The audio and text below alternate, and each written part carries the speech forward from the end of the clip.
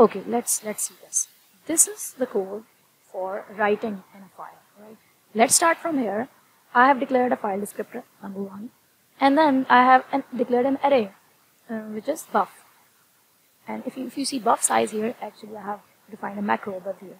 So you can see this buff is actually a, a character array of 14 uh, length. Okay, let's see the main thing. Step number one is this. You have first have to open up a file. Before writing, obviously you just have to open up a file. Okay, what was the first parameter? The first parameter was actually the path of the file. So I have just written the name of the file that I was creating along with the extension.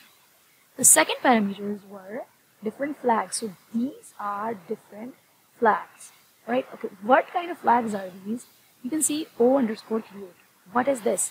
O underscore create is actually a flag It tells us, uh, which actually tells this open function that if this file does not exist, does not already exist, then create it too.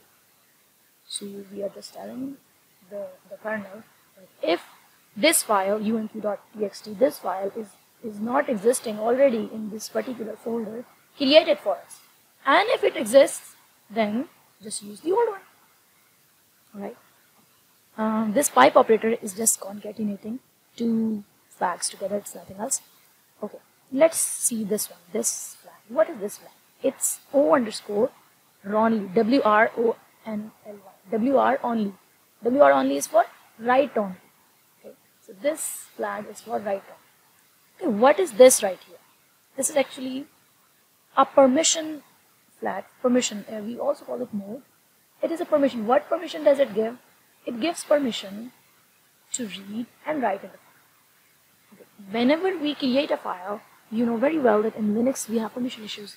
Whenever you create a file, you have to give it certain permissions. So if that file was not already existing and we created it, we have to assign some permissions to it too. And 0600 is the permissions for reading and writing in the file. I hope you won't mind me helping you. Okay, moving on. Now we have to check whether that file opens successfully or not. So if this file descriptor equals to minus 1, that means we have failed. There is some, some issue, some something we have not done right. Right? So, so there is some problem and that file has failed to open or create. And we'll just exit.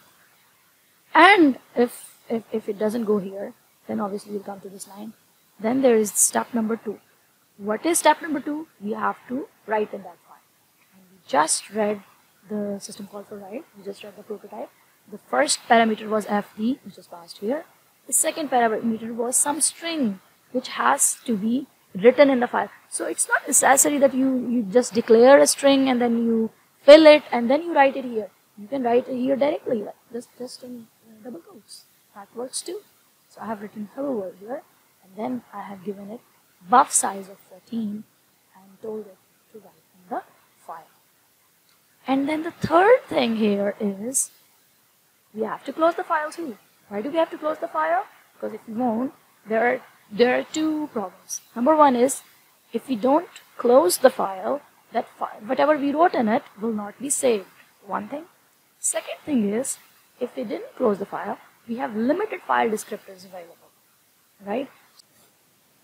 So if you open a large number of files and you don't close them after doing your work, then those file descriptors will be held till you shut down your PC. So resources will not be released, right? So that's why we have to, have to close. Okay, moving on. Let's see the reading part. This was this was the writing part. Now let's go for the reading part.